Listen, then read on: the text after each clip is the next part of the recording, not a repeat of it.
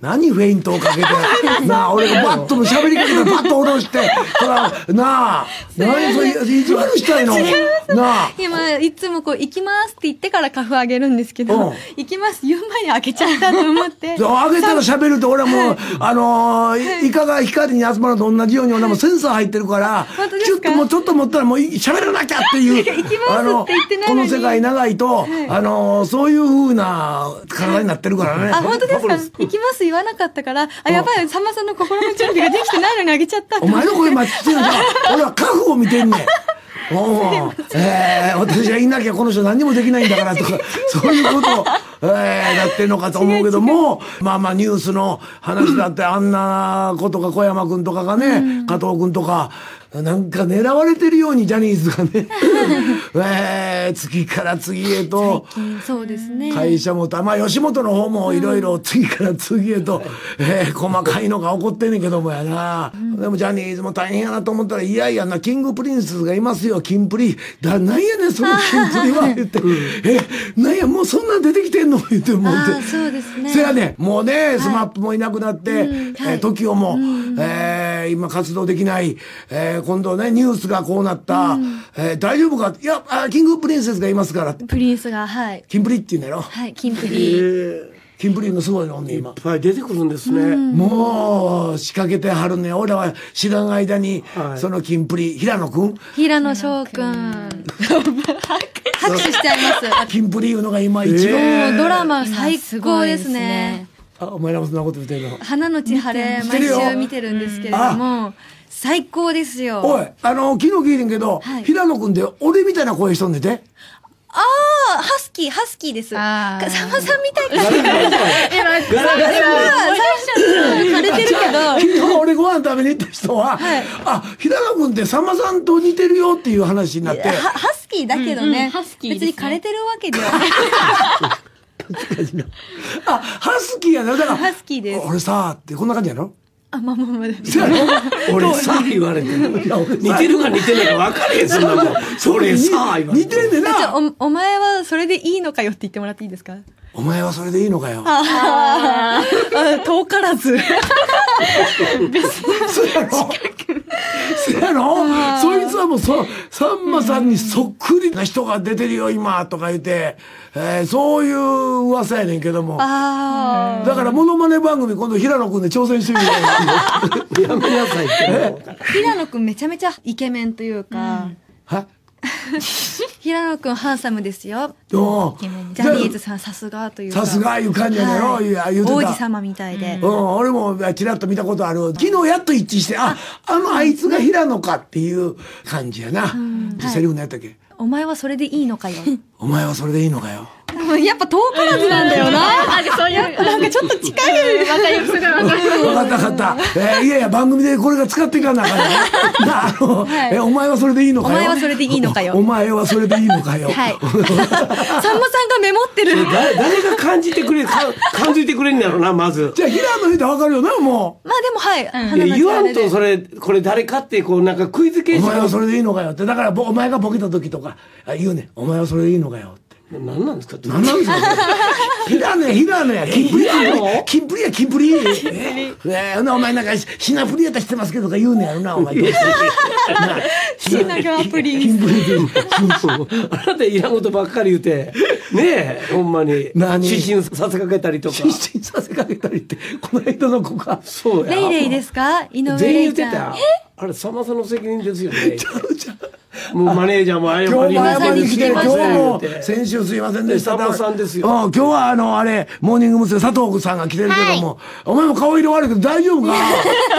なあ。じゃあほんまにちょっと顔色悪いぞ。まあ顔、普段の顔色知らんけど、そんなんかお前の顔色？はいあ、ほんならあ、まさきちゃんっては、初めてなんや。そうです。あ、そう。私と同期ですあ、そうかそうか。はいえー、19歳。えなんで今まで出なかったんでしょうね。あのいろいろあのね、こいつあかんの空気乱しようのか？結構あかんあかんタイプと言いますかこの子か。はい。あ、ど、庄司さんがどう聞いてるかわかんないけど、はい。秘密兵器です。すごい。秘密兵器です。なんとなく。うん。そうわかる。そう、あ匂いがするから事務所も心配で来てんやろうけどな。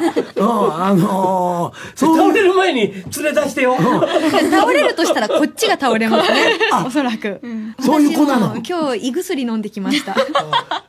道理で。どう、どう、あの、お前ら、あれ、この子大変だろうなって。俺たち、それは私がもういいいきなり感じました今日。さんまさんが入ってこられてうん、スイカ切ってくれたでしょ。私今日スイカ、あの小さいの2個食べとったんですけど、ずーっと見てるんですよ。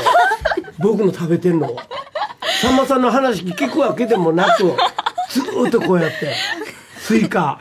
こいつ食べたいんかな思って。で、て、て食べてないもんな？食べたかった？ん食べてないです。うん食べたかった食べたかった？んはい。いや、たあれみんなのやつやからお前食べたらええんやないか。ずーっと見てるんですよ。さんよまさんにあの、入った途端に、さんまさんが話されて、挨拶するタイミングなくしたどうしようと思って、あの、したやないか。あの、おはようございますはしたんですけど、はじめまして、佐はじめま藤してな、正樹です。佐藤なんとか言うのを言ってないと思ったのが、ささん無事切れると思って、すごい。俺がブチ切れる？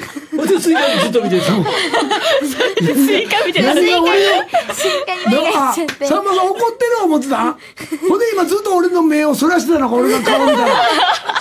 挨拶ちゃんとしなかったからって。面白いな。そう、だから、なんやねんやろうなと思ってやな。だから今は19歳で、今まで出てないってことはもうよほど、社長も、並びに、その、あえーモーニング娘。のスタッフも、うん佐藤はちょっとヤングタウンはっていう感じだと。喋らなければいいよ、みたいな感じです。いや、ラジオやから。顔、ど、どっちに転ぶかわかんないんですよ。まー、ちゃん自体はすごく面白い子なのそう面白い子で、知ってもらえたら面白さすごい好きになってもらえると思うんですけど、面白い人、爆弾発言というか言ってはいけない言葉を言ってしまう日があって、どっちに転ぶか賭けなんですよね。まあまあ、えーラジオやし、アポロントさんはいろいろ心配してらっしゃるんだ。えまさんの場合はどっちに転んでもちゃんと受け止めてくれるからね。まあ、どっちに転んでもというか、もう君のね、えー言いたいことを今日いろいろラジオ、初めてのヤングタウンやから、いい久保とまさか同期やと夢にも思わなかったし、クドゥとも同期ですよ。なあ、はい。そそれでまあ、だから、今度カラオケ行きましょうよ、クドゥと。で、佐藤の名前出てこなかったもんな、あの、その時も。その時はたまたまドゥと二人でカラオケ行ってたっていうのはあるんですけど、そうか。あ私たち同期で行きたいとか、レギュラー。外されてました、あなた。はいでも今日何でも喋っていいって。はい今日はいいねって。えはいでもまあまあ、俺らがあたふたするようなことだけは言わんといてくれよ。そのな、はい。お俺があたふたするってよっぽどの内容やから。なあのーそれだけは、まあまあね、せっかくのヤングタウンですから。はい前が出たいなとは、みんな出てるけど出たいなとは思ってたの。思ってなかったです。思ってない。はい。知ってたんですけど、知って、別に出たくないなさんまさんに会うのが怖かったから。何が怖いねん俺の。貧血の話とか聞いてた。倒れたね実は先週やないのが。なあ、なあ、あまあ、さんまさんって知らないけど、あの人会うと怖いよな。怖いいやな。、テレビのままのイメージでいたいなっていう。おうだからラジオやからテレビのままやで、おそらくい。や、芸能人さんってすごい怖いイメージがあって。ああ、裏社会先輩とか。はい。すえーオードリーさんとかすごく怖かったです。初めて会った時。オードリーさんいや、だからこれ大丈夫や。じゃあ、お前にとってやからな。はい。だから、注あー意されました。何注意されたん？ハクションかあくびをしたら、お前、あくびしたんはい収録中に収録中にあくびしたら、うんオードリーさんに、ここは真剣にやるとこだよ、ちゃんとしてって言われて。それオードリーせ怖いなと思って怖いなって言われたって、はいオードリーたまらんよね。うんお前が本番中にあくびしてんな。ほんで、あの、若林も怒る気持ちはわかるな。でも佐藤としたらあくびぐらいさせよって言われてるこんなもん出るやろって。そうやんな。そら、そらもう、そら、佐藤正解。当時まだ14歳とかじゃない12歳、12歳いいや、か。12歳、14歳関係ないの、お前。その、いやいや、戦場に出てきたらやな、お前。な、まあ、えー、こういうところ戦場や思ってんの俺だけらしいねんけどね。ものすごい平和な街らしいねんけど、さんちゃんだけさ、戦場だと思ってるよね、とか、所さんがよく、こんな平和なところないじゃん、とか言うねんけども。それはせや、オードリーもやっぱり自分のラジオでゲストに迎えて、はぁ、ってあくびしたら、ま、お前、古お前、お前な、若林やからあくびしちゃダメだよって言ったけど、横山やすしさんやったら蹴られてるよ、お前。昔の芸人さんやけど、やすし師匠やったら、はい正面蹴りやで、顔顔に。顔に。はい。だから、多分分かってないですよ。今多分横山やすしさんって聞いて、まあは横山レイナを今見たから、横山かなって。横山レイナかなって思った。だからもう、君何見てんの？ねえ。君の話してんねん、お前。庄司に興味あんの？お絵かきしてたから。お絵かきしてたから見てたん？はい。ね鉛筆、こう動くもん、やっぱりこう、動く。え。動くもんに反応してまうの。ばっかりも食べてましたからね。ああいうものと動くもん食べるものには、すごい興味示すタイプです。うん。だから、我々の中は痛い子なのか、ちょっと。君本来すごい頭はいいんですけど。あ、だから頭がいい痛いやつやろ？最悪のバージョンやねん。いいね。髪の毛、髪の毛マイクに巻きついてるから、お前。何ケラケラ笑うとんねん、アホ。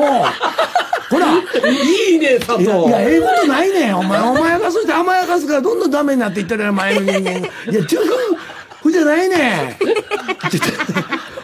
ちゃんとせ、アホ。笑ってる。NPS ヤングタウン明石家さんまです。庄司です。モーニング娘。18、飯久保春菜と、横山レイナと、佐藤まさきです。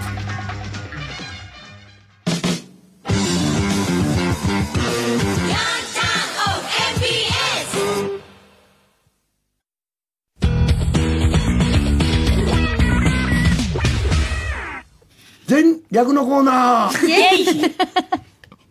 今何笑うた笑うよね。あれ笑うよね。笑うかな。笑笑ったことあるかな。なあこのお前不適合者やないかこいつ。社会不適合者やろ。お前、副キャプテンやろ。ちゃんちゃんとせよお前こんなんでティッティティ庄司のスイカ食うのが楽しい。なティッティティのティッティが楽しいっておかしいやろ。でもまーちゃんは本当に自由で面白いから私たちがやってる別のラジオだと、そこのラジオ局では好きな DJ ランキング1位に選ばれてるんですよ。ああ面白いというので、はい。ユニークという分野で、えー、1位に選ばれてんの、はい。俺は選びたくないわ。絶対選びたくない。笑ってる。お前ラジオ聞いてると気持ち悪い 番組になってるから。いや早行くよ。こちら、えーラジオネームチェスターからいただきました全力ヤンドの皆さんこんばんはこんばんはついに佐藤正樹ちゃんが登場です。はい不安はやっぱりそうなのか、ヤンタンについにあの女が登場かっていう感じなのか、モーニング娘。の秘密兵器、秘密のまま終わることもなく、ゲストとして登場してくれて不安にとっては本当に嬉しい限りです。北海道出身の19歳。あ、お前も北海道か。はい。えー、あだ名はまーちゃん。はい。あの指原さんも一番の推しメンと、えー公言している存在で、その性格を一言で表せば、バカと天才は紙一重でしょうか。えー天才まーちゃんをさんまさんがどう料理するか本当に楽しみです。さんまさん、庄司さん、まーちゃんの魅力を存分に引き出してあげてくださいっていうことですけども。えー、そうかそうか。どこや北海道の？ここら辺です。うわ、どこや。そ れどこやろ？ここら辺です。で、お前はちゃんと高校出てか、出てないのか？出てます。え小学校6年生で。から。6年生からこのモはい。ーニング娘。に入っている、えー、もう6年やからな、19歳。いやいや今話してるから。はい。今何書いてんのところで。さんまさんが言った言葉を一つずつ書いて。うわ勉強熱心。ね。お前頑張れるやん。のよしこみたいなやつや。なほんで今言うたことを塗りつぶしてんの。な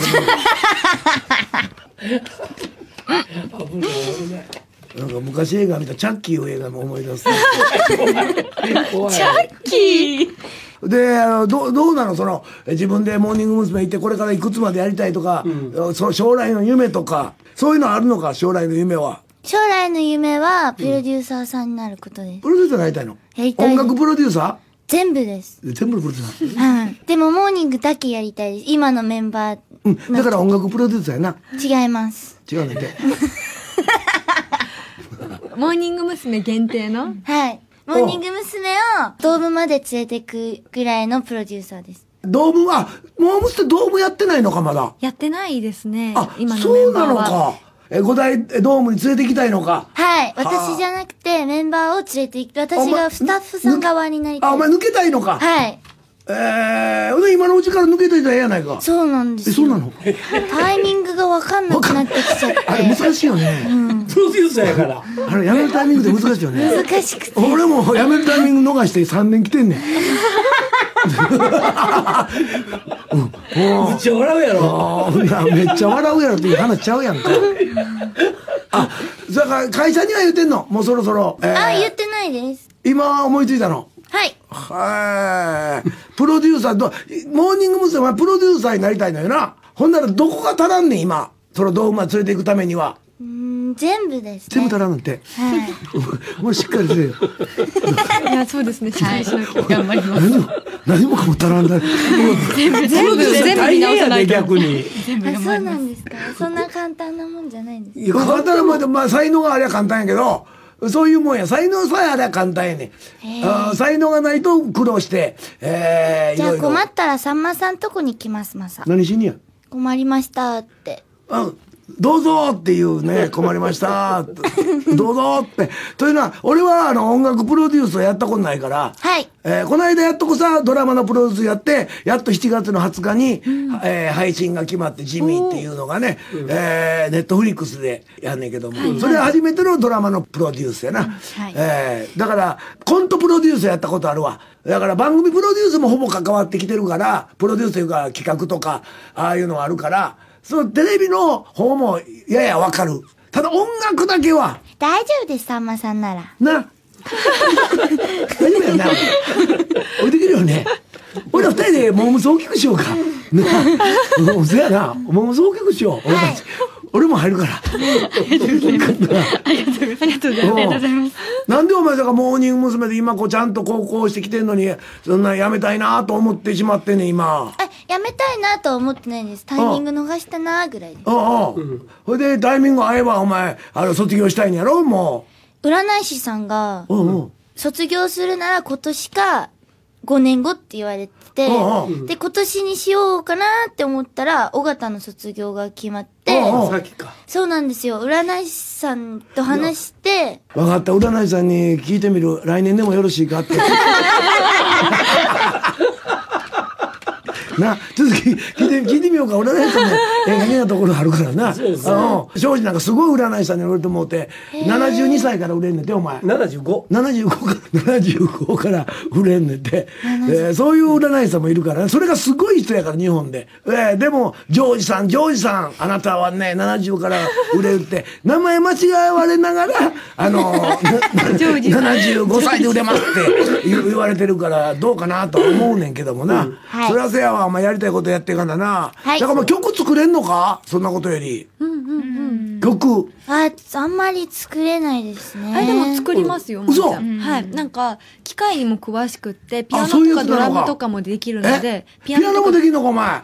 いや、もう未熟です。全然全然。まあ、そりゃせやな、19やから、お前全部未読やわ、お前。うん。でもなんかこう自分で曲を作ったありと、作ったかりしてんの？それはレコ、はいあの、要するに CD 化されてないの？はされてないです。ど、どんな曲やねん、その、今、最近作ったやつでは。へえ。あ、であも、メロだけは覚えてるやろ。マネージャーさんと喧嘩して、喧嘩した？の怒られて、悲しかったものを、マネージャーに怒られて悲しかった時の曲があんのか。はい。それはメロだけどんなんやメロだけは。15秒です。15秒。15コマーシャルにちょうどいい ね。でもまあ、30秒も作ってくれって言われるで、あの、スポンサーさんから。あの、1分で。で、歌として、まずは聴いてくださいって言われても、あっという間に終わるから、え、えって。次、次の曲いきます。え、ちょっと待って。前の続きそう、は。ほんま15秒だもんだ。じゃあ、マネージャーに怒られて、タララララララン。あ、歌詞はないです。あ、そのメロだけ浮かんだのか。天才やないか、お前。怒られた瞬間、メロ出てきてんやろ？はいおお、それど、どんなメロやちょっと俺が判断したの。覚えてません。いや、もうひらめくのか。それ今の心境をメロにしてみ今の心境に。会って。何も感じないです。何も感じない。すごい残念。違う、あ、違います。怒られたりとかしたらしか出てこないです。ああ、そうすっごい嬉しくなったりとか、はいあのーすっごい怒られたりしたり、えー、すごい嬉しい時もないです。悲しいとか、怒あられたっていう時だけ。ああれ食べたいのに食べれなかったとか。今スイカ食べられなかった歌。うん、ないですよ、そんなの。さ佐藤ちゃんは、はい。あのモームスの中では自分はどういうのがあの自慢できる？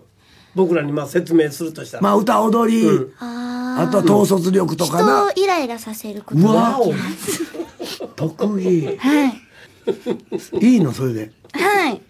イラ周りがイライラしようがもう私関係ないの。あ、勝手に。気づかないです。人がイライラしてるとかを。あ後で聞くの。あの時あなたイライラしたわあなたにとえ、か噂で聞きます。噂で。お前らも言うたれよお前。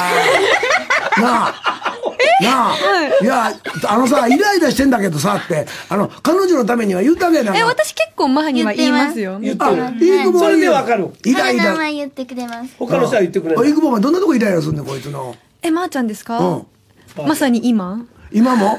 今もイライラしてえ、る嘘です。今はそんなイライラしてないですけど、なんだろう、あの、例えば、ん。みんなで挨拶い行くとかっていう時に一人だけいなかったありとか、あ 何してんのまーちゃんその時えっと、一人でいますね。どっ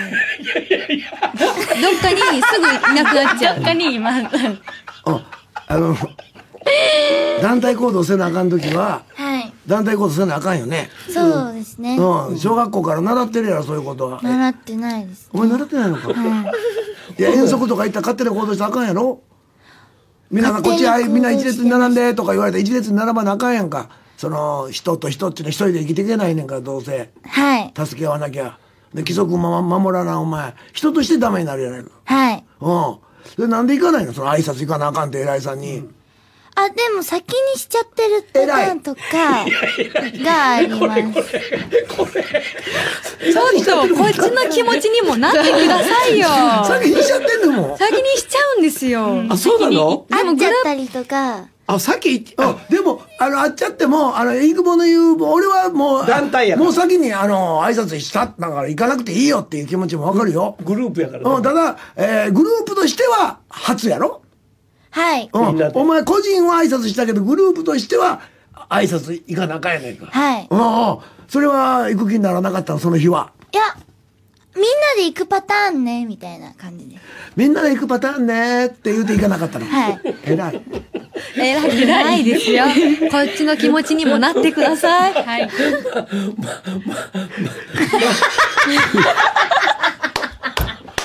笑われた ここにも来てるわ。青春こそ悪は、飯久保春菜。全力やの皆さんこんばんは。こんばんはついにモーニング娘。の、えー宝とも言える存在の、はいえー佐藤正樹ちゃんがヤンタン初出演ですね。はい2年ほど前、舞台稽古の途中で、飯久保春菜ちゃんと工藤遥ちゃんが、ヤンタン収録のために一度抜けなければいけなかった時、えーまー、ちゃんは、春菜行っちゃうの？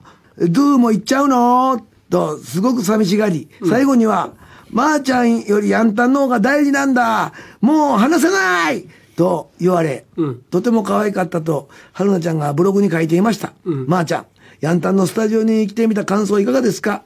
ビッグスリーの一人、さんまさんを目の前に見た感想など、ぜひ聞かせてもらえたら嬉しいです。よろしくお願いします。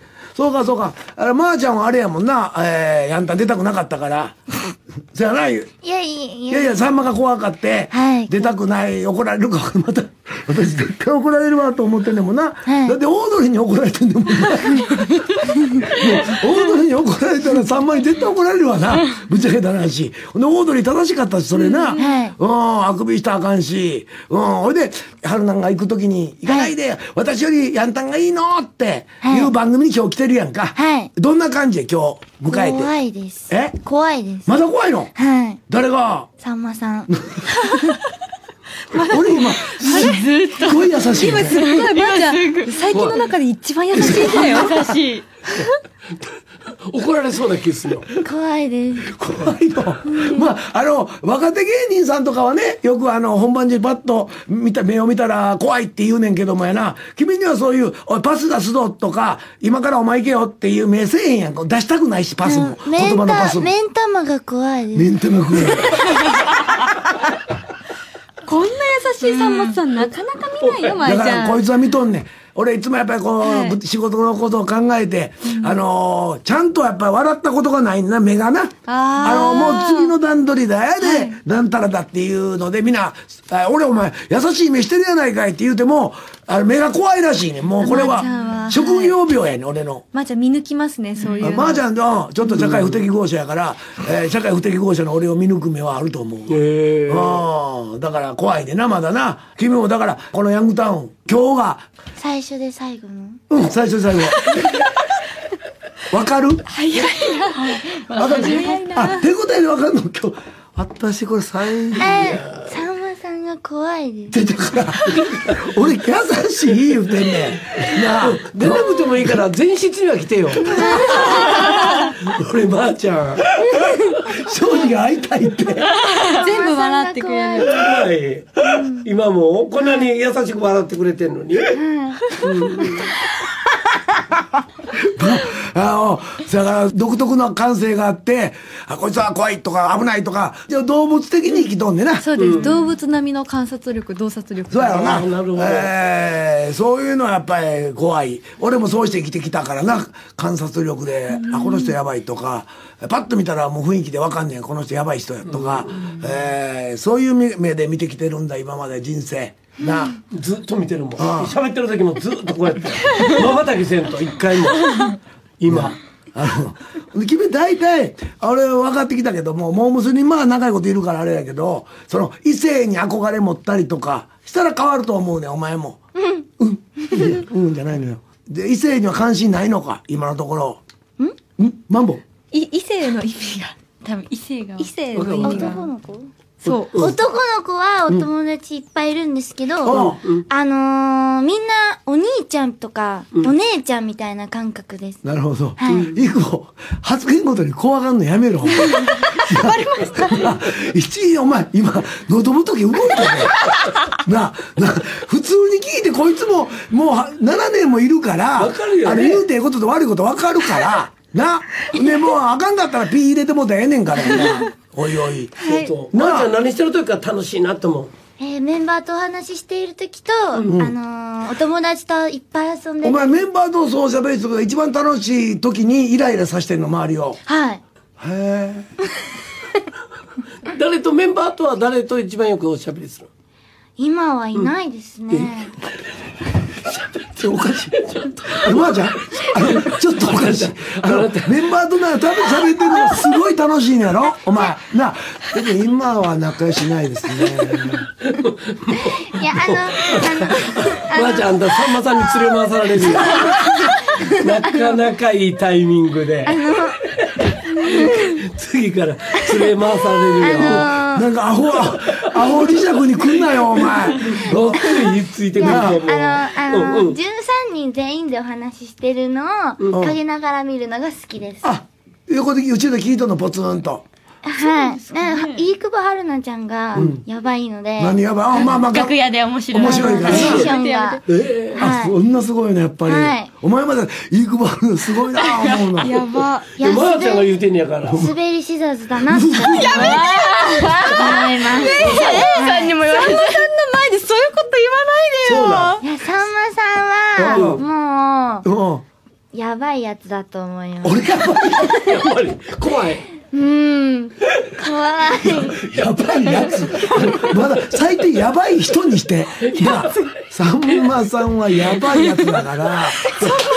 それあの、18区の男の子で原宿とかで使う言葉ちゃう？それやばあいつやばくね？とかやつやろなあなあやばいよねってだからいい子もやっぱり、えー要するにまーちゃんもお前認めてんねんその面白いねその話をちょっと外れたとこから聞くのが好きなのか？そうですね。うん。ちょっと関わっちゃうと、うん。メンバーに迷惑かけちゃうあので。それは分かってんのか。はい。だから、うん。あの、いいでいつそれツルできんのそれ。楽屋では、あのーなるべくイヤホンしてドラマ見てたりとか、聞かないようにしてんの？あ、き聞いてます。ちゃんと聞きながら、片一方ドラマ片一方片っぽして片っぽして片ない一方ドラマ聞きながら片一方でいい子の、この、えーマシンガントークを、あのー、違いますよ。違います。マシンガントークなんてしてまーちゃんないですから。って言われた時に無視したら傷ついちゃうと思う。そうやな。なるほどうん。まーちゃんって言われた時のように片一方。なら結構えあのドラマの方を重要視して見て、聞いてるわけ。あ、五分五分です。ゴブゴブゴブちょうど真ん中で。真ん中で、はい。えー、お前がハマってるドラマは何やねん、その、今は。とどめのキスです。あ、ちょっと古いな。はい。と前、一個前。一個前やな、とどめのキス。はいはあ、なるほど。それはすごいねはい。とどめのキスの何がええの？お前にとって。あのー、あのー、あのー、荒木さんの、荒木優子さん荒木優子さんうんの、あのー、ドレス姿とか、あの、ああいう人だに憧れてたんですよ。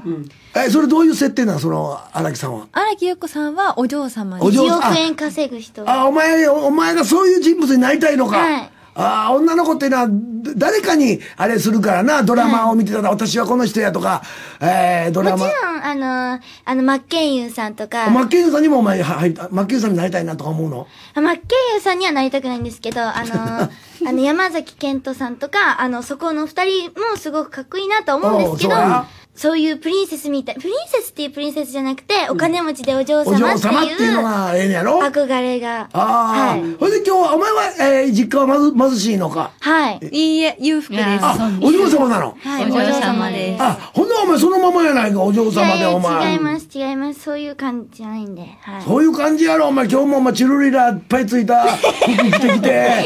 なあ。チルリいやいや、売れてない。肩出しよ、チルリラ。チルリラチルリラや。名言出ましたね。名言出てないね。もう20年前がチルリ松尾バンダよ。名言出ました、チルリラ。さんまさんに連れ回されるぞ。そんな笑い方しとったら。お前。お前来んなよ、俺のアホ磁石に。もう、もういっぱいいっぱいやから、今、アホいや、もう磁石で。最も適してますよ。アホ磁石に違う、は。適してない、適してない。こんな、こいつはアホ磁石はいかが、俺はアホ磁石やねん。なんか面白い人間やねん。こいつ怖いやんか、ちょっと。マサもファンマファンが怖い。ファンマファンファンマファン。怖いねんな。ファンファンファン。ファンマファン。お前、チャッキーか、お前は、もう。ちゃんとせえ。うん。ああ、そういうのがあんねんな。えーいろいろ気遣う。ほんならもうメンバーでちょっと、ポツンと浮いたりもするんだ。自分のやりたいことやるタイプやから。あ、マイペースすぎるんだああ、。そうですね。え、一人っ子か？三姉妹です。三姉妹のお前下か？一番上です。一番上っぽくないな、こいつ。ほんまやわ。一番下かな思ってたわ。一番下で、ああ、あ、お嬢様やからか、こう、まあ、要するにマイペースで、えー生きていけるのはな、ね、別に人は人でいいかって思える、えー人間やねんな。だから、だから、えー人のことあんまり心配しないタイプだ。ああ、心配。言われなければ心配。言われちゃうと解決したくなっちゃうんで。解決したくなっちゃう？はい。お何を？で、マイクがどんどん離れてるから、もうちょっと。さんまさんが怖くてどうしてもちょっと離れたくてしょうがないです。あ、それで、あの、ちょっと、どんどん、角角へ。どんどん角角。向こうのテレビの前まで行ってしまうかもわからあの、モニターの。まあ、マイクさえちゃんと言ったら、モズミはい、モズミ君もな、あの、拾いやすいから、お前、どんどん追うってなあ、はい。上がってんの？あ、背はちっちゃいやろ ?100 何センチ？わ、わからないです。小学6年生の時にやったのは、いや、そんな、152そんなセンチいらんよ。だいぶ経つし。何今今156、7です。ああ、多分そうなんでだ なイクボが言うの ?156。まあまあか。まあまあです。女の子にとっちゃ。あ、あ、ほんならお前、足長いんだ。足？そやろ、今こうして座ったらちっちゃいのにやな。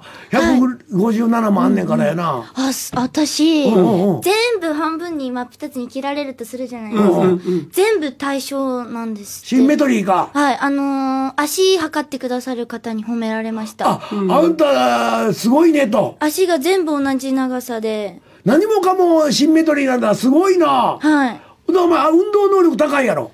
と思った、それもその時に言われたんですけど、そうん全然そんなことなくて。あ、だからやったらうまいね、お前。だから、あの、ダンスも綺麗って言われるやろ。いや、言われはしませんまあね。特徴生かしてないんでね。ん？ん？あの、特徴を生かしてないんでね、せっかくの。神か様があった。俺もかなりシンメトリーやね。ええいや私やだ、もう。違う。俺もシンメトリーや言われてる。シンメトリーってあの、かっこいいとか、綺麗とかだだけじゃないのよ。あの、ちょバランス半分に切ってもちょうど、前が言うたように、えー悪いなりに、あーシンメトリーやね、俺。左右、全部。うんマンモで。じゃあ、だから言ってるやん。ほら。うわお前、連れ回されるぞ。そんなことでやってたら連れ回されるぞ。お前、最後には、お前、あかんぞ。まあ、まあ。まあ、いろいろあるわな。俺がシンメトリーは嫌みたいやね。うんだから、お前あれや、えーバランスがええねん、多分な。だから踊りもちゃんとやれば、綺麗に、人より綺麗に踊れんねん。だいぶ最近死体臭になってきちゃったんえ？で、なんかお前、ま、曲がってきた最近？曲がってきました。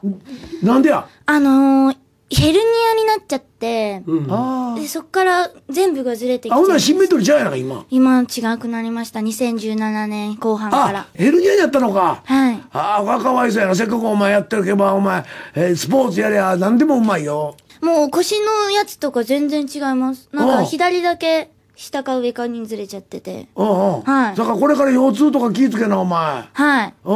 はい行ってんの、病院？ないです。行こう、行っとかなあかんねん、お前。将来苦労するぞ。そうなんですよあ、。知ってんのか？でも、なんか、怖くて行っちゃうと。本なんで当に直しといて、徐々に？治んないんですよ、ヘルニアって。ヘルニアって知ってますか？いや、知らない、ごめんなさい、知らない。あんま、あんまりあの。ヘルニアは腰だけじゃなくて、そこにあるものがないことをヘルニアって言うんですよ。そこにあるものが、はいないものをヘルニアっていうの。はい。お金がないねんけど、ヘルニアない。お前ヘルニアやな。お前お金のヘルニアや。怖い生活ヘルニア。生活ヘルニア。人生腰痛。うわああだから、それを足さはんねんな。はいその足らんところを金属で。はい。だからチタンとかで。そこやっといて、やっといたら方が、腰はお前、これから子供産まなあかんねんから、あ、産まないです。産めよ。いやー。えー、なんでや子供産むのなんで嫌やねん。あのー、育てる気がないです、ね。育てられへんわな、お前。はいでも子供は旦那さんがしっかりしてたら大丈夫やないか。あとお母さんもいるやろし。旦那さんもいらないですねえ？旦那さんもいらないえです。結婚したとか思わないの？将来。うん、ずっとお友達でいたいです。だからお母さんになっといた方がええと思う。大丈夫ですいや、顔可愛いしやな。スタイルもええしやな。そういう人は子供、お前、受け入れてる今。否定しよう。ちょ、ちょっと、顔綺麗で、いやいやって言うてくると思ったら、ずーっと、スタイルまでずーっとうなずいてたから、俺はそれは良くないと思うよ。そうですねん気をつけてね。はいああ、おしまい。はい。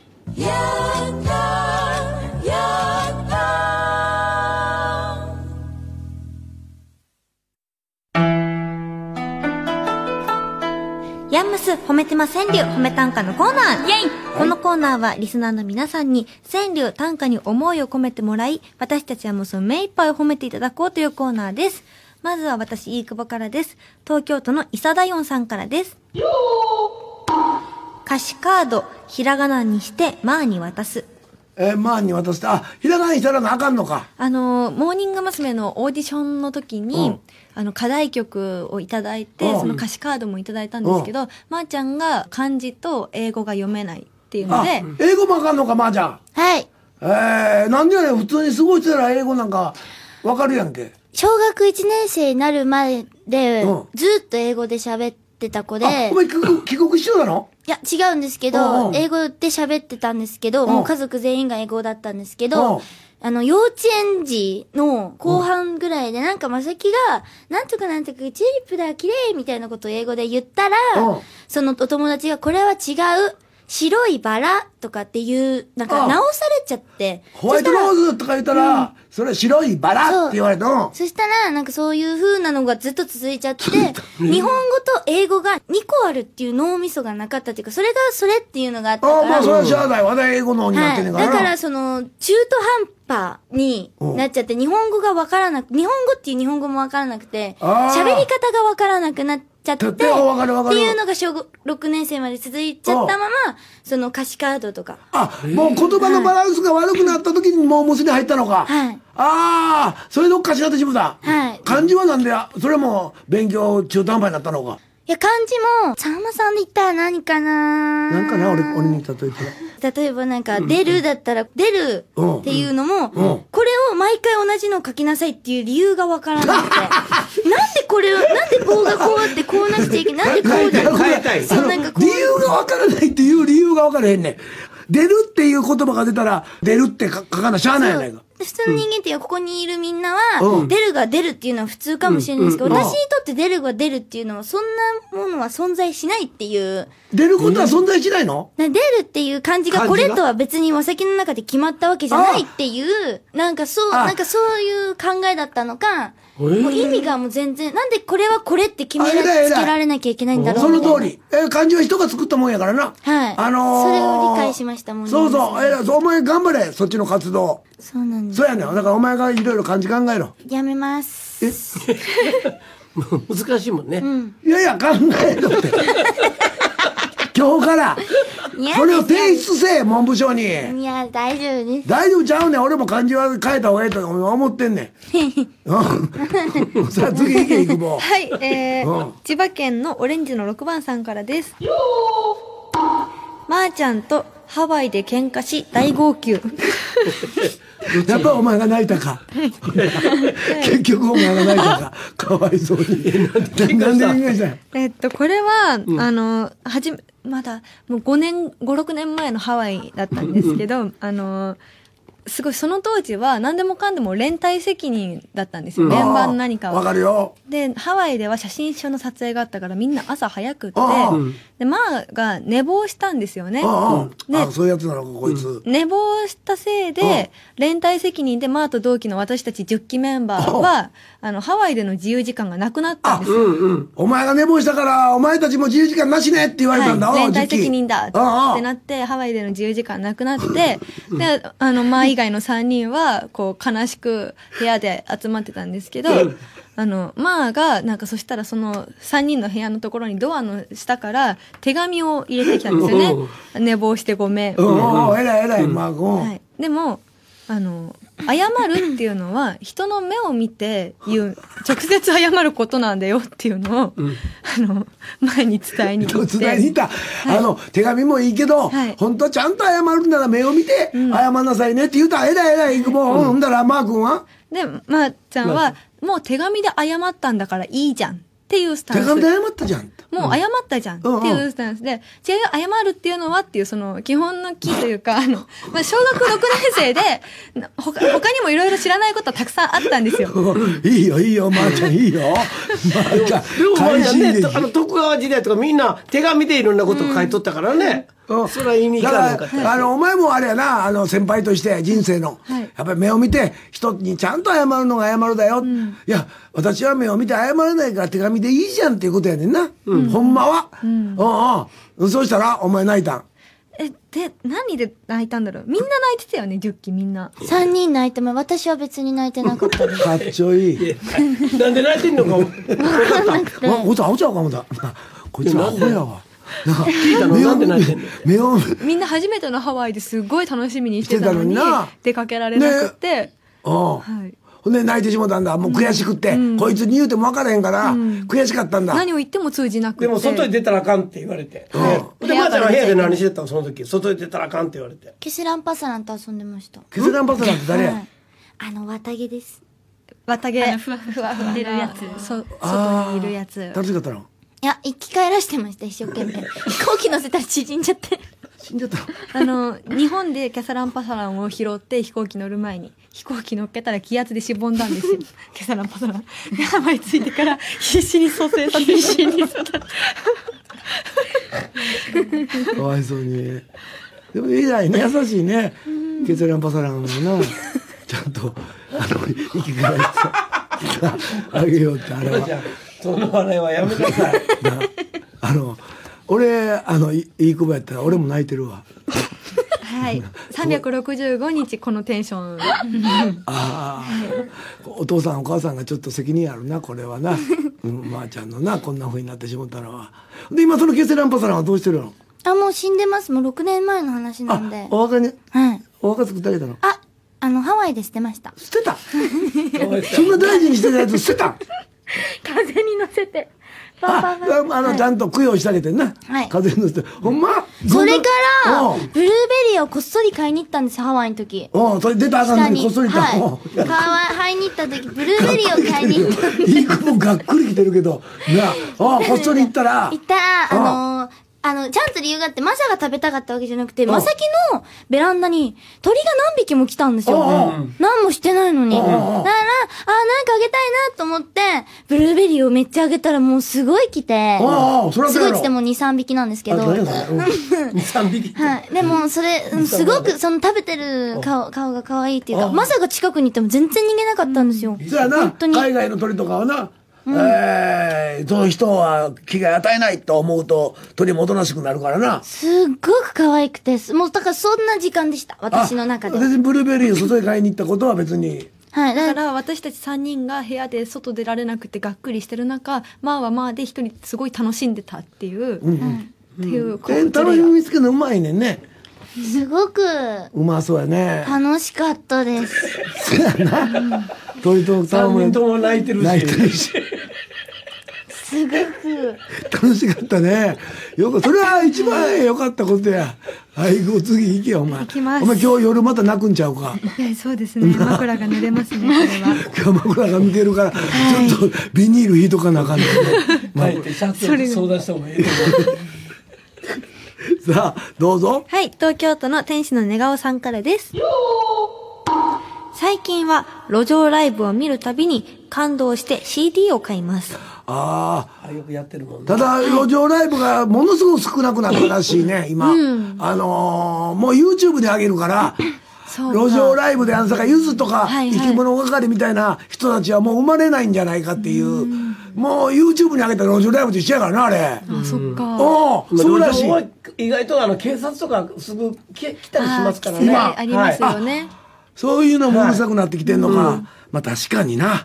えーみんなの、あのな、通る道を、ライブ、ね、これから夢を追いかけてライブ使われたら迷惑する人もいるからな。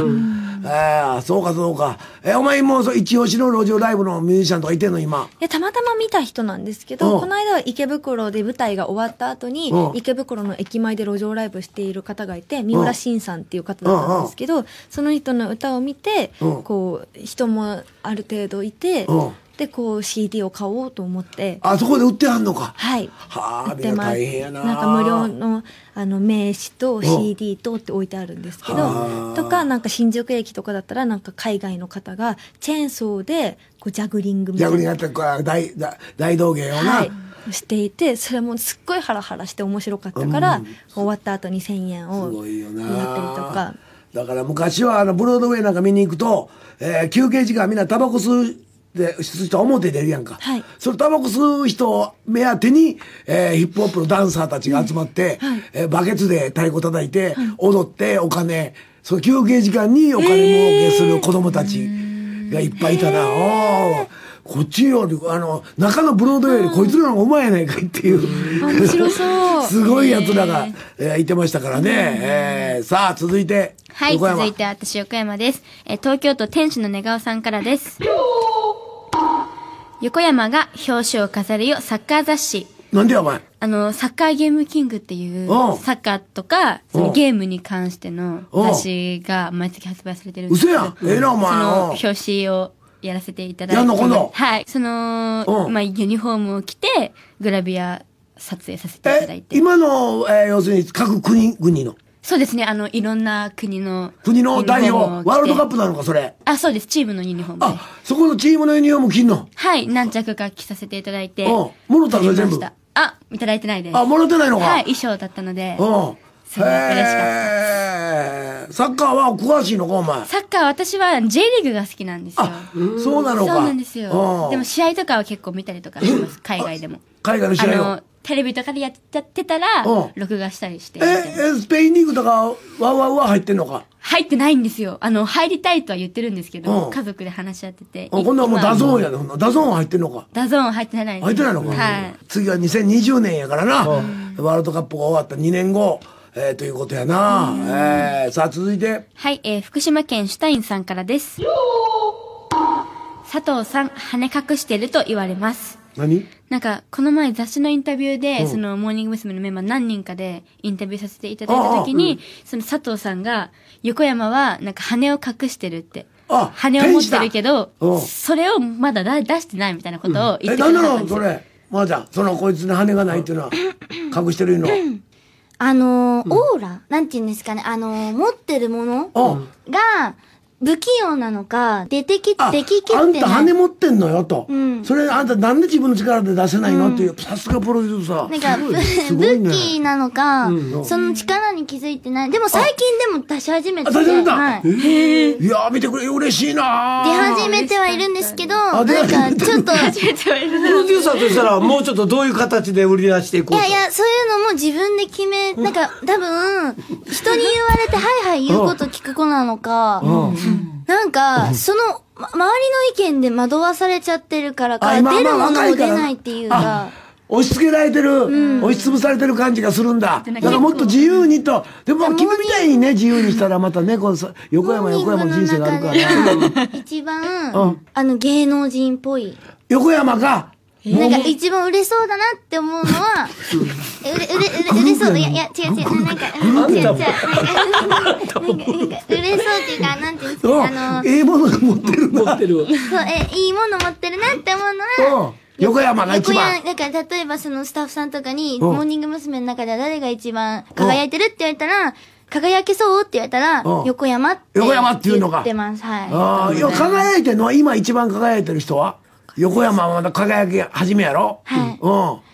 今は、今はもう。今はみんな何かに必死って感じで、横山は冷静に人の意見を丸く聞くタイプ。はあ。みんなはもう頑張る、分私は析頑張るみたいできてるなね。さすがやなプロ考え方がプロデューサーやな、やっぱり。いや本当ですねえ自分のことはできないのね、分析は。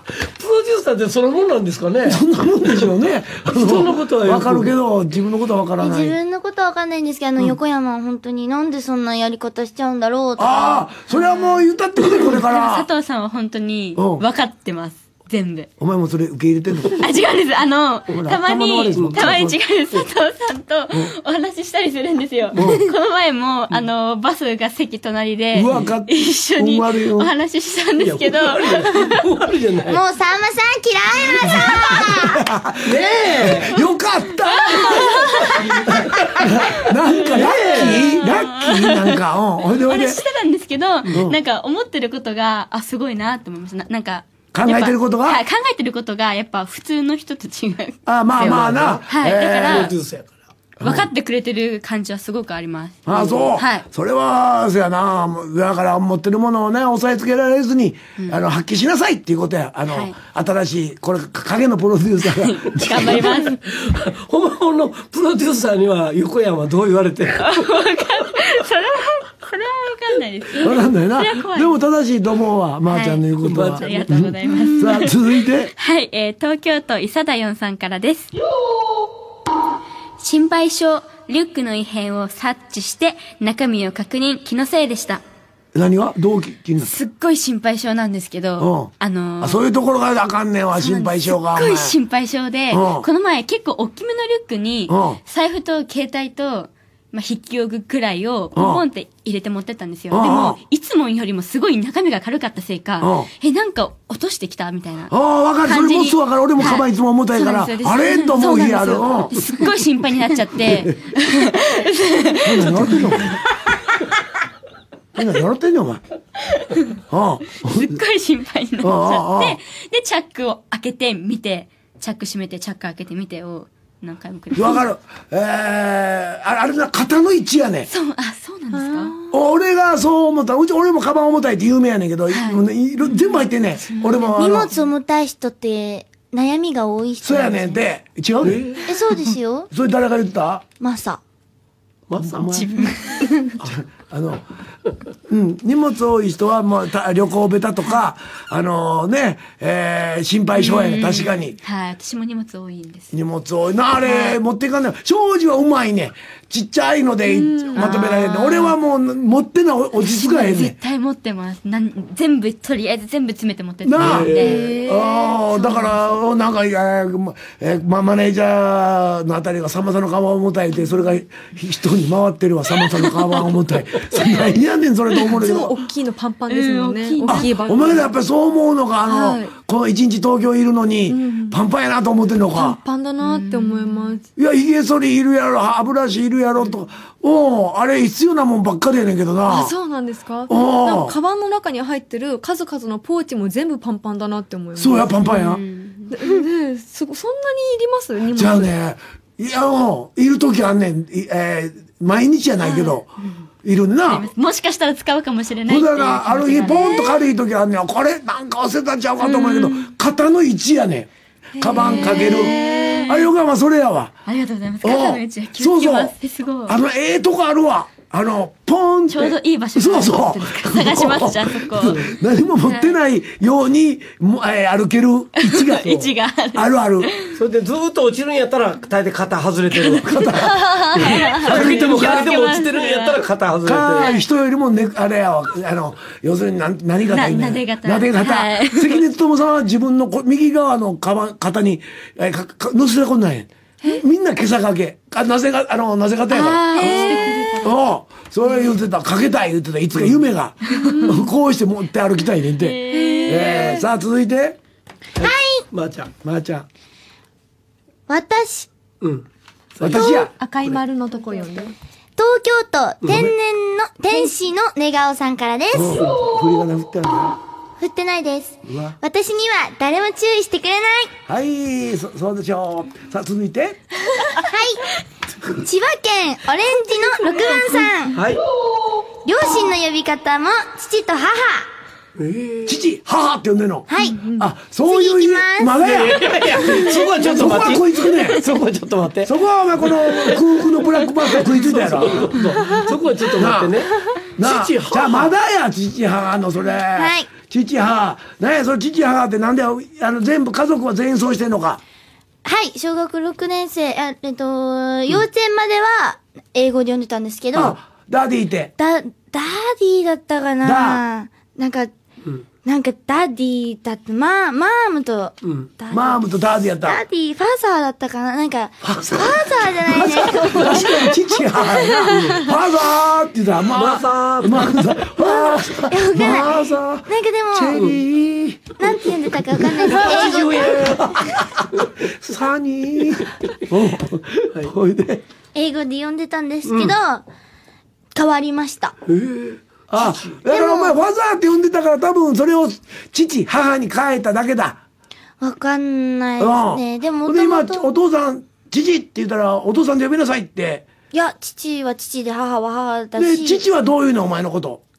まさきとかまーちゃんあと、かそのまま娘って言わへんのか？言いません。でも、一時、うん本当にご飯食べる時とかも、うんあの、一年に一回か半年に一回は、うんあの、物音を立てちゃダメっていう、っああ、食べる時に音を立てちゃダメっていう行儀悪いって言われてたんか？ていう時期がありました。うん。うん。あの、その、その日だけとか。そえその日だけ？その人が集まった時とか、ああ、かっこ悪いから。でも、あのー母とか父のお友達が30人ぐらい毎日毎日家に来るときは全然何も言われないです。ああ、あ、そういうさ、毎日のようにパーティーやる家なんだ、君の子は。外資系か、毎お父さん。毎日毎日違う人が来て、母が毎日毎日いろんな人に集まり作ってて、料理作って母すごくって、で、うん父と母も知らない友達が来てたりとか、あ、よーお知らないけどよーとかっていうおお感じ。父さん外資系の会社か？外資系の会社やろ。うん？わかんないですけど、あのーそういう感じでした。せやな。家の中がああ、大体分かってきたぞ、お前とこの家。はい。へすごい母も、家、毎日毎日家に、家をきれいにしてう、ん食器も全部きれいにして、ご飯もいっぱい作って、ああ、パーティー開かなあかん家なのか。それはそれは大変やな。10, 10人から20人、30人ぐらい。そんなに来てんの？大体、けもうだから毎晩毎有名な多分晩。外資系やって、これ。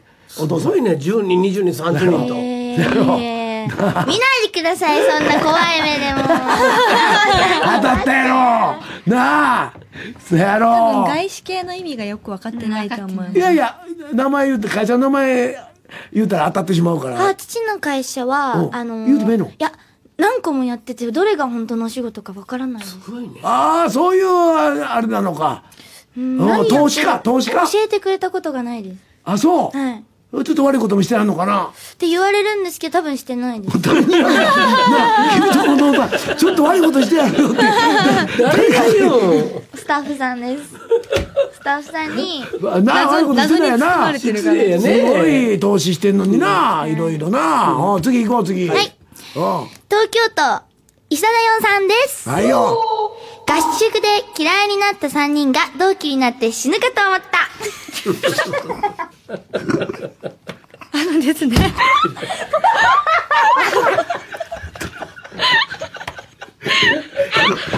もうね、それこっちのセリフだから。次行きましょうか。え、もうないわ、おいありますよ。えそんなにあんの？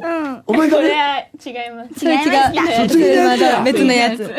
死ぬかと思った。オーディションでひらがなまで書いてあげたのに。違うんです、さんまさん。ちゃんと理由があるんです。理由あったらあかんと思うねん。えっと、工藤遥ちゃんと石田由美ちゃんは、あの、お化けだお化けだって3時ぐらいに叫び始めたんですよ。で、マーがキャーって言ったらなんか二人してうるさいからちょっと黙ってって言われて、はぁってなって嫌いになりました。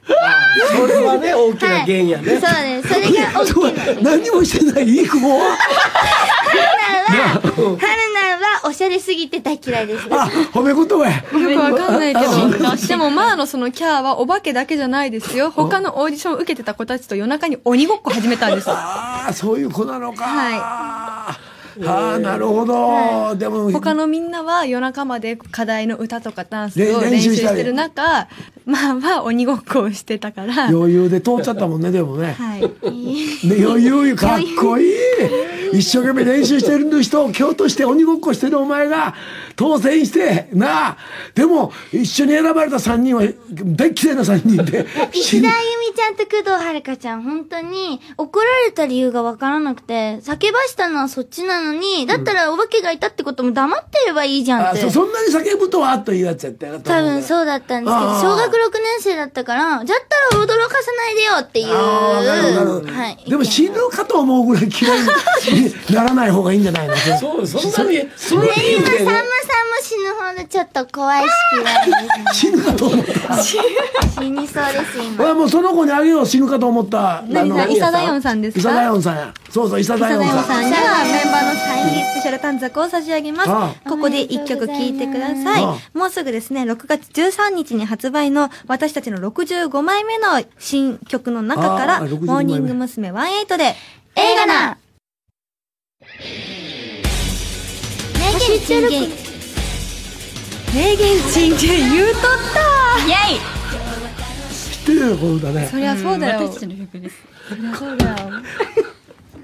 ちょ、ちょっと黙っとっーねて。。ねあの、この歌知ってるって、じ自分たちの歌やもんね。はい。大変やな、いくぼ。はい。ねえーこいいですか、いいですよ。このコーナーは昔のものから最新のものまで、テレビやラジオ、ちょ、ちょっとテンション、いこう。雑誌、インターネットなどで見聞きした有名人の名言、珍言を リスナーの皆さんにツイッター形式で報告していただくコーナーです。はいはい。まずは岐阜県4番エースさんからです。5年ほど前の雑誌のインタビューで、マツコ・デラックスさんが佐藤正樹ちゃんについて言っとったな。決してセンターにいそうもないけど、なぜか私気になって仕方がないの。あと5年寝かせたらとんでもない化け物になるって予感がするんだよね。言うとったすごいな、マツコさんに。化け物に。はいちょっと、ちょっと、まあ、化け物になってるか。違うさんまさんを化け物って言うんですよ。私はまだ化け物とは言いません。そやな。それ、まあ、言うてるマツコが化け物やからな。ま、さんまさんは化け物っていうより怪物かもしれ怪物かもしれない。怪物かもしれない。そうやな。お笑い界の怪物言われてるからな。モンスターかもしれない。もうモンスターかもしれないな。でも、お前ももうすぐ怪物になんねで、モンいやでも、スターにな。マツコさん、すごいなって思います。5年前にこの。これ5年前やろ？はい、だから今、今こうして来てるもんうな。ん、あの、本当におっしゃる通りというか。はあ、じゃあ嬉しいやないかマツコにそんな褒められて、はい。うんもっと頑張らなあかんな。プロデューサーになってる場合ちゃうでお前。頑張るって何を頑張ればいいんですか？そやねこれといって。まあ歌とか踊りを頑張るしかないね。あと、はい。おね。あの、ねうん、お客さんファンを増やすことやな。はい。分かった？はい。えー、ファンいいっぱいいてんやろお前も3、4人くらいですかね。たくスタッフさんに、この前佐藤のファン3、4人いたよって言ってくれました。ちょっと一人増えたねって。よ言われて、ではいあほんまたくさんいてんのいっぱいいます。あ佐藤人気あんのいやい。嘘佐藤人気あんねやないかお前。あいや違います。かっこい。い 褒められたら弱いみたい。あの人あの人褒められると弱いみたいで、そうなんです。褒められるの弱い弱点見つけた。さあ続いて。はい、千葉県のオレンジの6番さんからです。つんくさんが佐藤正樹ちゃんをモーニング娘。に選んだ理由について言うとったな。う。賭けやな。あいつの勝負は22歳やな。おいマサの勝負は17歳です。終わってたの？当たってもうなかった。終わりです。はい。あ22歳であのそうそうそう。ば化ける言うてんねんからつんくさんが。うん。だから19やろ？つんくさプロデューサーさんだったらそうかもしれないですけど、今もう違うから、お前つんくのプロデューサーぶりに不満があるぞお前がプロデューサーになりたいということえ、は違う違う違う違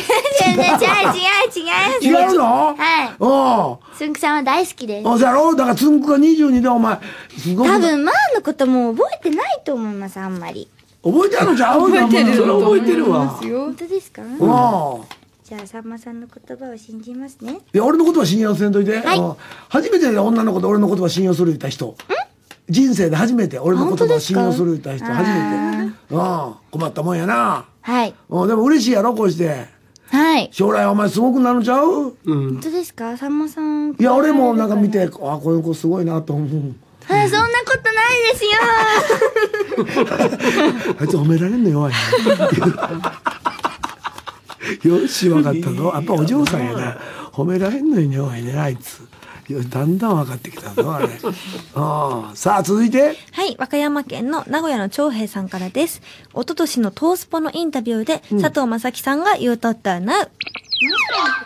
モーニング娘。に入って環境が変わりすぎました。380度ちょっと変わったかも。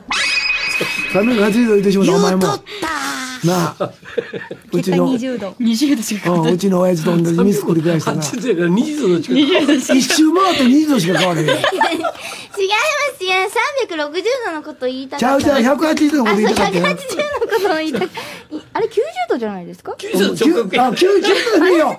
90度の変化でもええよ。あれ？丸書いてちょんってこれ。丸書いてちゃん。それおっぱいや。これ90じゃないです。どれ？90は直角やで。それをさらに半分にしたやつ。90。え？180? ?180 は半円。半分。丸の半分がじ。ゃあ180です。でしょ、うん、それを380度って一番かっこ悪い。うちの親父がそれのインタビューで言ってからテレビ出なさんくなったからまさんっ。てお父さんいるんですか？いると思うよ。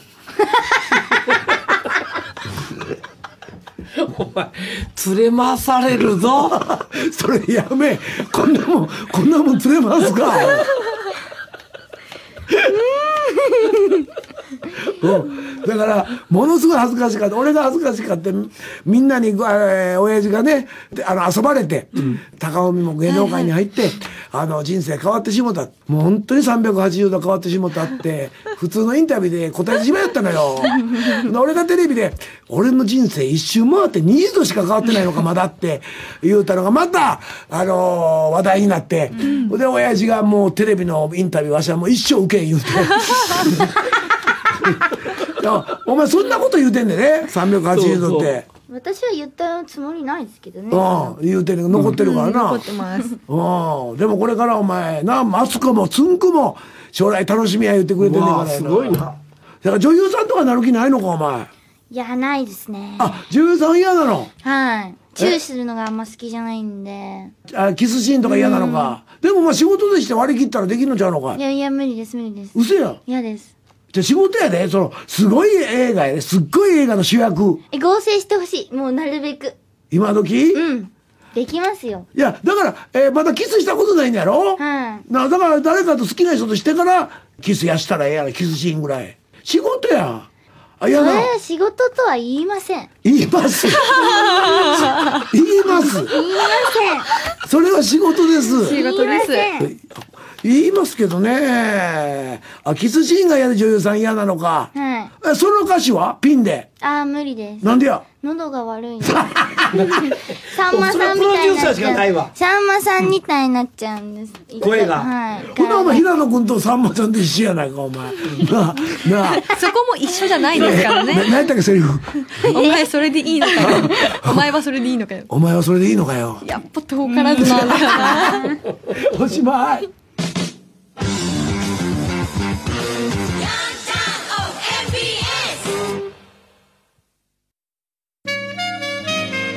ンムスは癒せませんのコーナー。イェイやだ。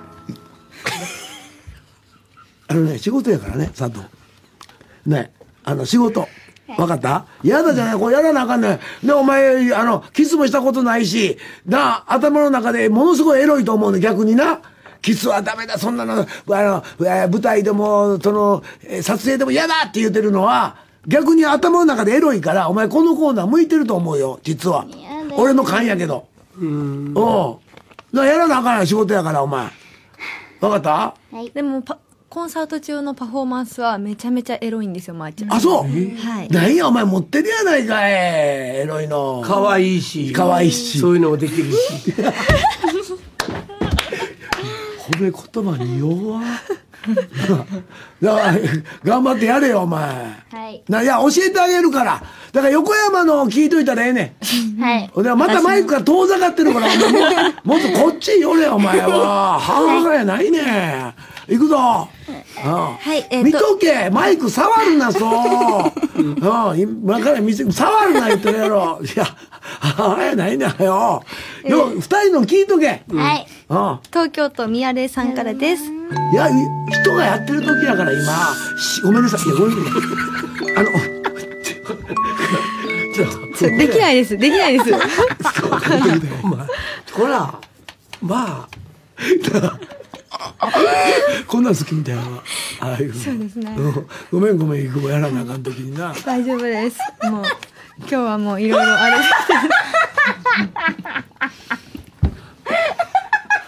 お前絶対、メンバーに不不人気やな、お前な。それわかる。ええ楽しそうな。いや、いい子も泣くな、お前。本当に。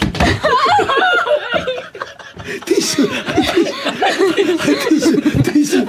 お前、2週連続お前、嫌いや言われるわ嫌いや。死ぬほどやで。死ぬほど。死ぬほど嫌い。泣くな、頑張れ。いや、うんじゃないほらお前や泣かしたんは、お前。あ、おう。あい、うわ、うわ。違う、うんじゃない。欲しくてたまんないです。もう一遍整理していこう整理していこう。もうほ欲しくて欲しくてたまんないっていう感じやな。たまんない？ああはい行こう。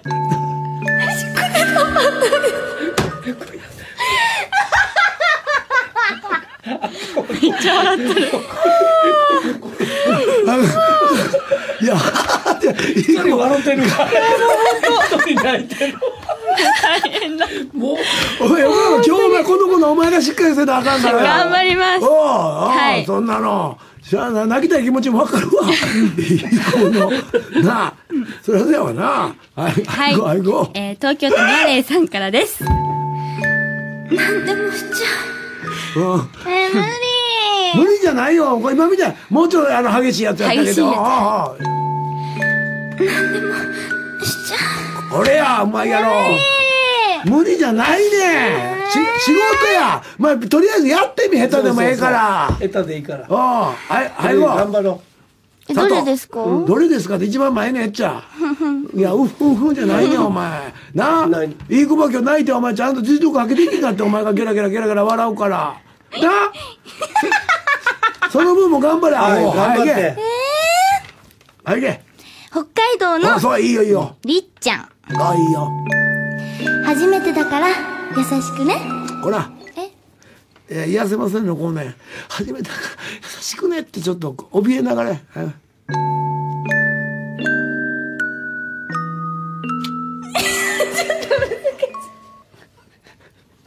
ほら。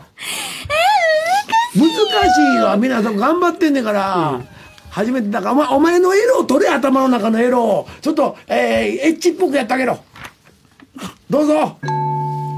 初めてだから。ほら。はい もっぺんやいの初めてだから。初めてだから。初めてだから。なああかんな。もうもうちょっとやあのわかエロくやで。次次のやつは。なあ練習しとけよお前、その次のやつ見て。はい。うんでは行こう行こう。はい。ちょっと見本見したれよ。福岡県の聞いとけ！りょぶーんさんからです。バいやバーじゃない。広げて。ごめんなさいね。あなたあなたあなたも絡むから。いいごめんなさいか彼女二つ合わせて俺の顔見てバーって言うからやな俺はバー俺がバー言うてしもたんや俺は仕方がないやろ。聞いときなさい。聞いとけちゃんのはい。じゃあ返事あかんねん。お前練習すんな今。こ心の中で練習すんねん。はよせいくぼも大変う涙拭けいくぼこれお好きなんですね。あいい今日涙声でいいよ、いいよいいよ。うん。なんで春菜泣いてるおの前のせいやお精神崩壊するんです。そうやろな。これは精神崩壊する。しゃあないな。うん。と得意やな。うん。まだやまだや。横山あってからや。はい、えー、はい。埼玉県さゆみんとさんからです。ええの聞いたな。ええの聞いたええの聞いた。今の今の横山の真似したらええだけやなんでそんなことしなくちゃいけないの？なんで仕事やアホ？俺もこんな時に「こうやで」とか言うてるこんな冷静に考えたら俺のポジションすら嫌やねんで。恥ずかしいねんねこれそうですね。そう確かにそうですね。ちゃんとね1枚や2枚もたんと、はい。前の分前前や前の分い読むなよ。や顔見たくないあそうかそうか。顔見たくない？ちょっと見てみようか顔。やだ。いや見て見て俺の顔見て。バそれするからあかんねんって。それ はい。はい行こ東京都のミヤレイさん。こんなこともできるんだね。うあちょっとマシンができてるやないかお前顔見なかったらいける。お前顔見なかったらいけるいける。うんもっぺんやって持ってもやめてみ。本当に嫌い誰のこと言った今？誰のこと言った今？そんなとこ有効になっちゃうねん。早せやよボケやよ、はいちょっとちょっとできません。ごめんなさいじゃあいい今の今今今のよかった。お今のよかった行くよこんなこともできるんだねうわお前うまくなってる。可愛いし。可愛いし。うまいし。うまいし。今足見たけど足きれいしいいし。うわーすごいなお前。うわ弱っ。ほんで言葉で弱っ。弱っ。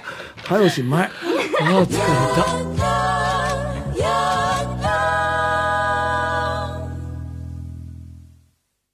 MBS ヤングタウン土曜日すべてのコーナーの宛先はヤンドアットマーク mbs1179.com yando アットマーク mbs1179.com です。皆さんお待ちしてます来週リスの日は私とゆくぼさんは舞台のためにお休みです。代わりに、モーニング娘。18の尾形春菜ちゃん、椿ファクトリーの岸本夢乃ちゃん、ジュースジュースの柳川ななみちゃんが登場します。尾形さんは2週間ぶり、岸本さんは3ヶ月ぶり、柳川さんは初登場です。お楽しみにここでスペシャルなお知らせです。来週6月16日の放送は、お待ちかねのリスの日です。恒例のヤンタンキーワードクイズを行います。抽選で5人の方にモーニング娘。18サイン入りグッズ詰め合わせをプレゼントします。来週も絶対、聞いてくださいねというわけで、えー来週はでもお前らは舞台のため休みで。そうなんですよね、あそうか、はい。尾形はもう一回出る歌のこれなのか。で最後のヤングタウンになるのか尾形が、はい。えーそうかそうかそうか。でもまあ、えーモーニング娘。を次々と、えー卒業したり、えーまあ、が尾形は学校に専念するのかな、あのどうして最近卒業多いかって今日なんとなしに分かったような気がします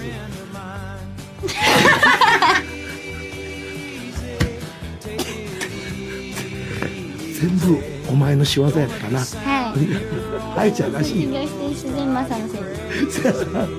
前などうやった今日ヤングタウンに初めて来てど感想感想はもう終わりやから。へえ癒しませんが疲れました。疲れたやろ、あれはお前あの素直に持ってやっていったらでも上手やったよ最後上手やったね、かわいいしうん、かわいい。ほんで足チラッと見たけど綺麗やし。ダウン、 one、two、立ち上がりましたはい、ファイト、ファイト、ファイト。えー、あ、いや、このコーナーは疲れたっていうことなのか。えー、あとはラジオやってみてどうでした疲れました。一番疲れたの俺いい子やと思うで。お相手マさはんが怖い。お相手は明石家さんま。村上庄司モーニング娘。18飯久保春菜と。横山玲奈と。佐藤関でした。